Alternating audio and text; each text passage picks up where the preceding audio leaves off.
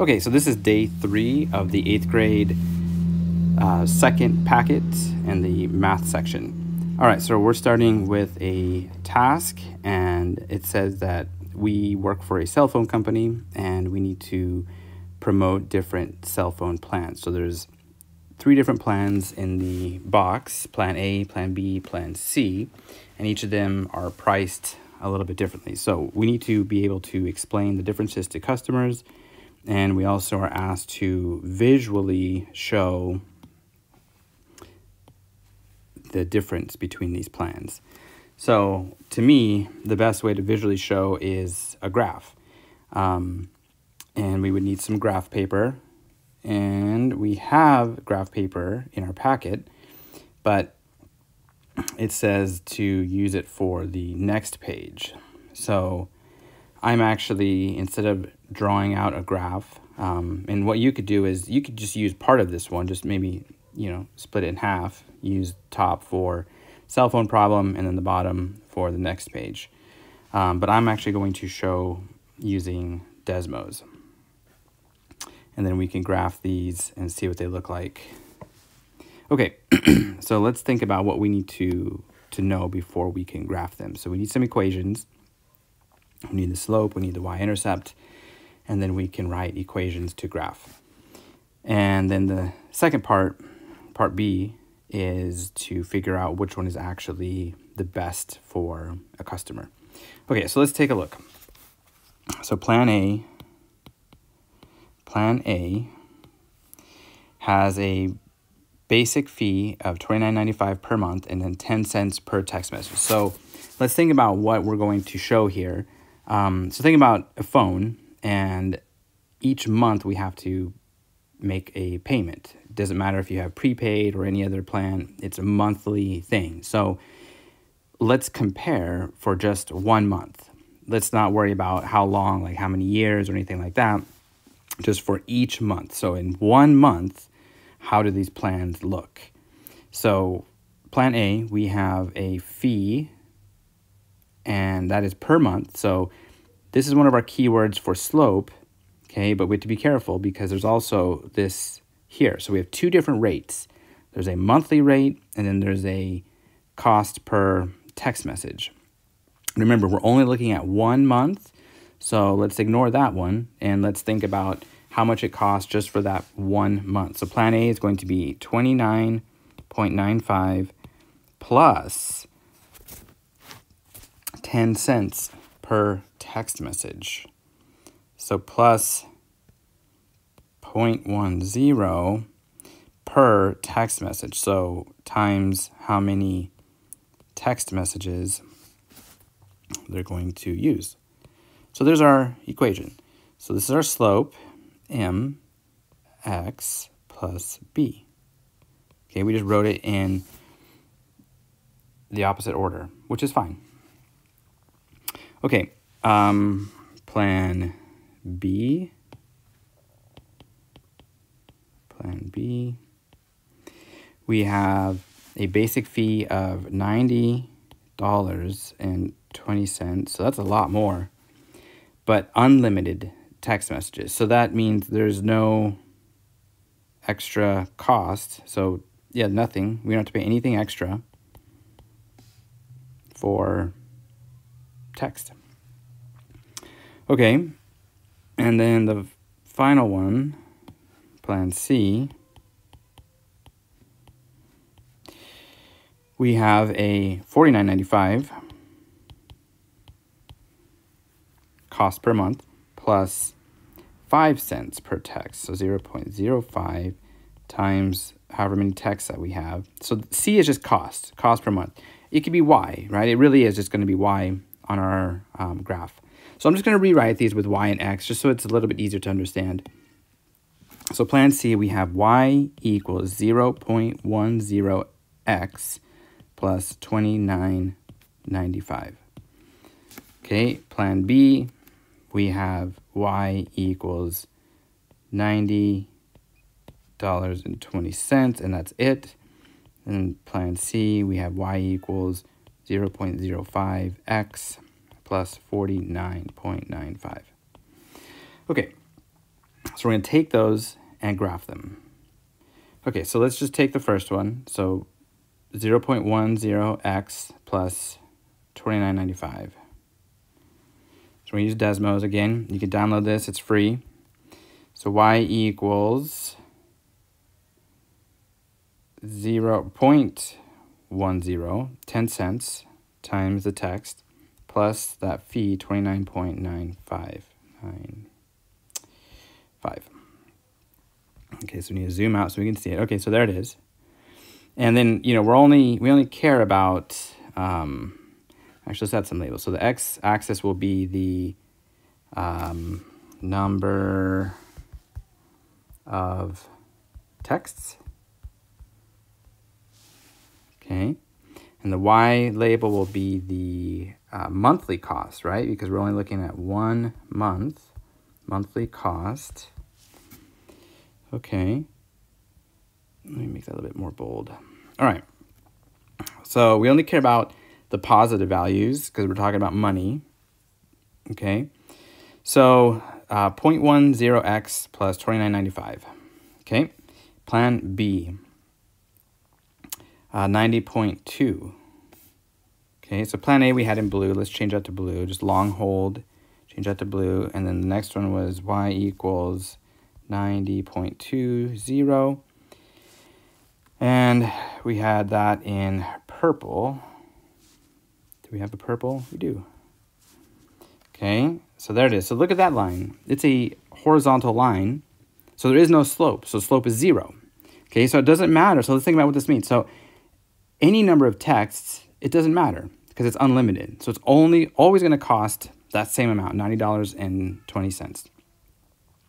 Okay, and let's go back and get the last one, plan C is 0.05 x plus 49.95.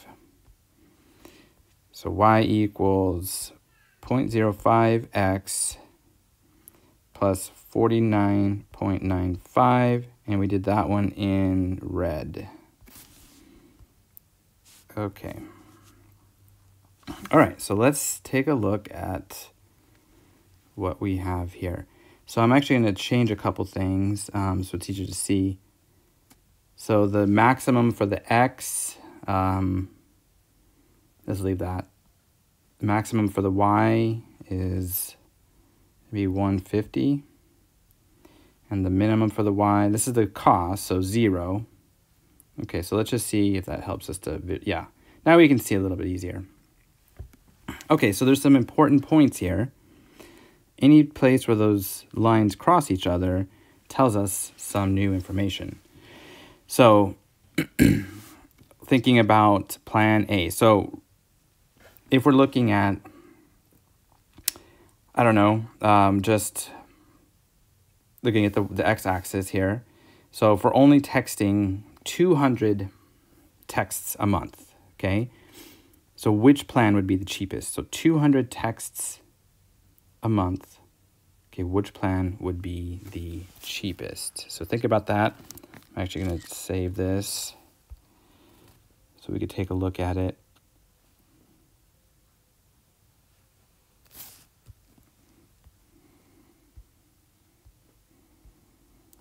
Okay, so I'm just going to add that.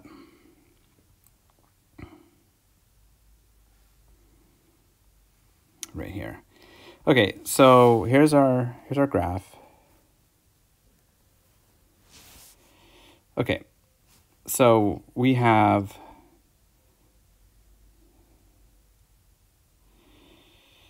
hmm, okay, so you can see everything through it. It's kind of interesting. Um, okay, so let's just get rid of that. All right, so let's take a look at this. So we have um, our three cell phone plans. Okay, we have a visual of them. That's what we're supposed to do. And then we need to answer some questions. So um, part B, it says, um, how do we know, how, which one would we recommend for our customer based on their usage or their number of text message that they send? Okay, so again, looking at our graph, we have the three lines. So just looking at 200 texts. So if I text only 200 messages a month, which plan is going to be the cheapest? So if I choose plan A, okay, that's here, it's going to cost me about $50. If I choose plan C, it's going to cost about $60. And then plan B, that's the unlimited one, it's always going to cost $90. So what's going to be the most expensive, no matter what, until we get out here to 600 text messages. So six, at 600 texts, plan B, the unlimited plan, and plan A are going to be exactly the same cost. So $90.20 if we text 600 messages a month. Okay, so you can you can see that it really depends on how much they're going to to use it. Now, if we keep going, say a thousand texts, okay, because we're we're selling this to, you know, a teenager, popular, they just love using their phone. So follow that up. Okay, the cheapest or the first one we get to is Plan B, the unlimited. So $90 for that one. If we keep going up, we get to Plan C, the red, and it's going to cost us $100.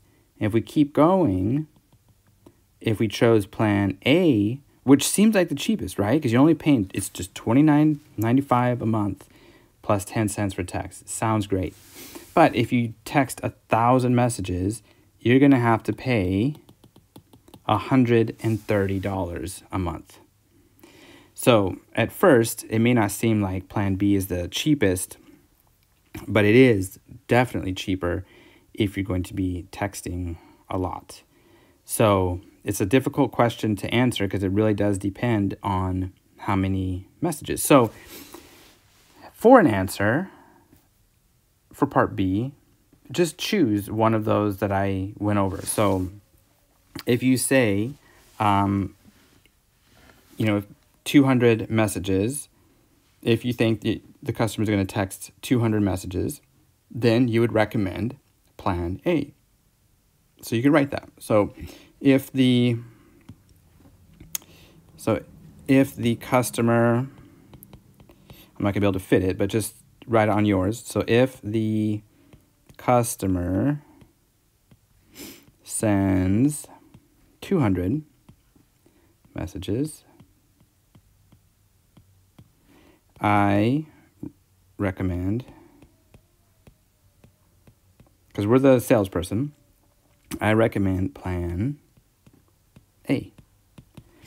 Okay, so now if we just change that, um, same sentence, okay, if the customer sends 600 messages, I would recommend which one. Okay, so the, the one that we get to first, which is the red one, so plan C. Okay, and then if I, if the customer sends 1,000 messages a month, I recommend plan B. Okay, so what, there's three options or there's more than this, but there's three that I'm giving you.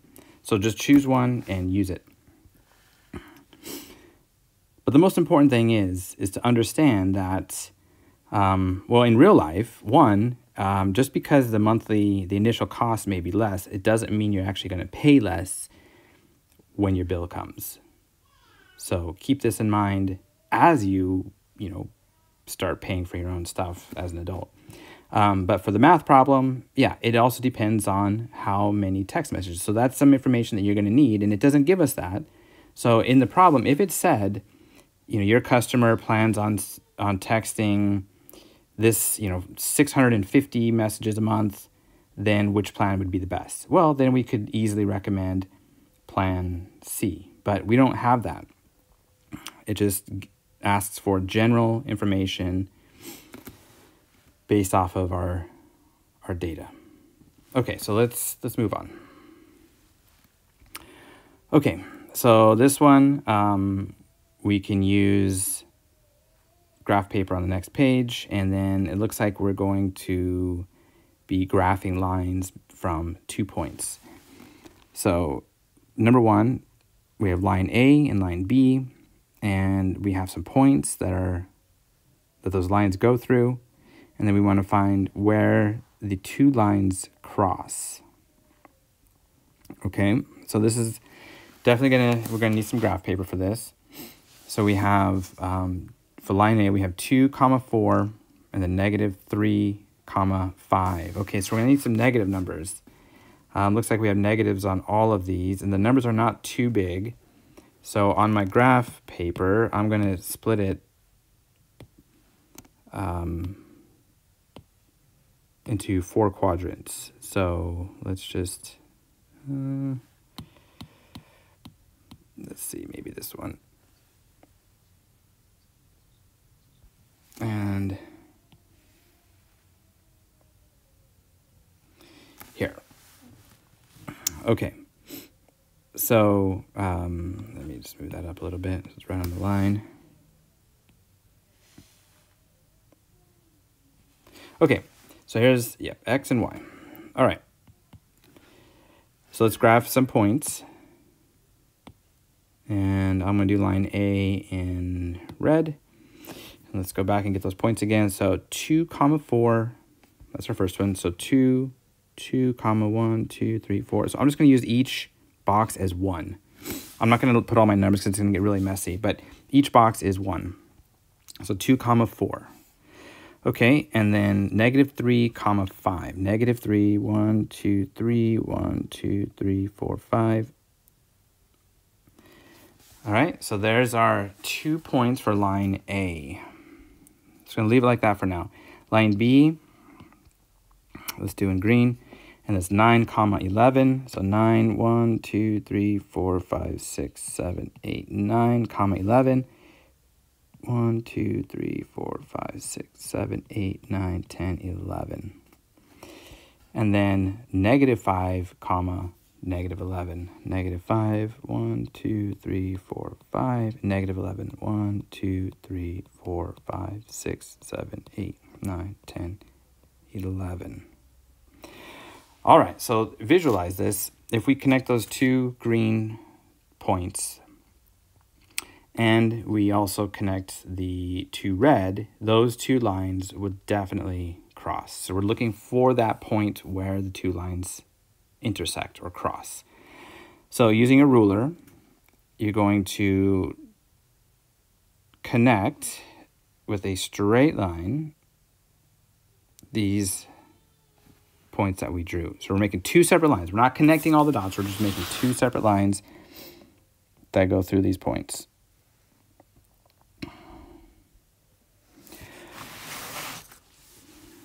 And it looks like they cross right there. But I do not really see how that is a um, defined point but I don't know if it asks, let's, let's double check. Uh, find the point where the two lines intersect.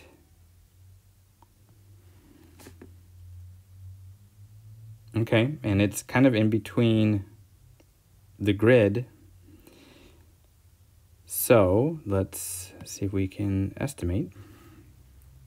So it's this point right there. And let's just double check our coordinates for these points, just to make sure we didn't make a mistake. So 2 comma 4, 2 comma 1, 2, 3, 4. This is 2 comma 4. And this one's at 1, 2, 3, 3 comma 1, 2, 3, 4, 5. Negative 3 comma 5. Make sure that's right. Yep. And then 9 comma 11. 1, 2, 3, 4, 5, 6, 7, 8, 9. 9 comma 11. Okay, and then negative 5, negative 11. Negative 5, negative 11. 1, 2, 3, 4, 5, and then 1, 2, 3, 4, 5, 6, 7, 8, 9, 10, 11. Negative 5, negative 11. Okay, so that looks right. But again, unless my lines are a little bit off, I don't really see that it's crossing. It, I would I would imagine that it would cross where the grid lines are. I mean, typically that would be the case, but it doesn't have to be. I mean, in the real world, it, it's yeah, it's almost never like that. Uh, but usually, math problems, math class, um, it is usually right on. So it doesn't look like it is. So let's just, unless I made a mistake, which is possible, because I'm still human. Um, okay, so this point would be at 1, 2, 3, 4. I'm going to go 4.25, comma, and then 1, 2, 3.5. And there are other ways, actually, to graph this. Um, being an 8th grade math class, we haven't really spent time um, writing equations from two points, but you can write an equation without doing any graphing, and then you can solve this algebraically and then find your answer that way instead of graphing it. And that's one way to do it. So anyway, um, yeah, we don't need to worry about that. Again, really, this is just understanding. This is systems of equations. So understanding, uh, one, how to graph lines from two points, and then also how to find the point of intersection. And if you can do that, then that's great. That's perfect. That's all we need to know before moving on to next year. So um, continue this. You can use the same graph and just fill it up. Just again, if it doesn't come out perfect, you can estimate.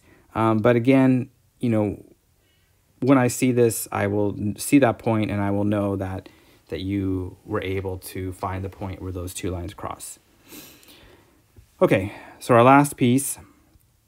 Um, again, these are kind of problems where, um, yeah, I'm going to do the, I'm going to solve it, and then you're going to finish the rest. So we have just an addition problem. We rewrite it, negative 23.5 plus, all right, so here we have a mixed number and then a decimal. So in order to combine these, we either need to make both of them into some sort of fraction or both of them into a decimal. Uh, because that fraction is 1 half, I'm just going to change that to 2.5. And we're just going to add, okay? But we have a negative 23.5 instead of a positive. So really we're going to subtract. So I'm just going to subtract, so 20, and then we'll worry about the sign in a moment. So 23.5 and we're just going to subtract. So if the signs are different, we're, we're really subtracting. Okay, and then that's 0, okay, and then that's 1, and that's 2. So it's 21. Okay, so our answer is 21.0, but it's negative because we started out with more negatives. Okay, so there's, yeah, use any strategy. Okay, remember, so I'm going to do um, a, a version of this without the decimal, just to kind of illustrate why it's still negative.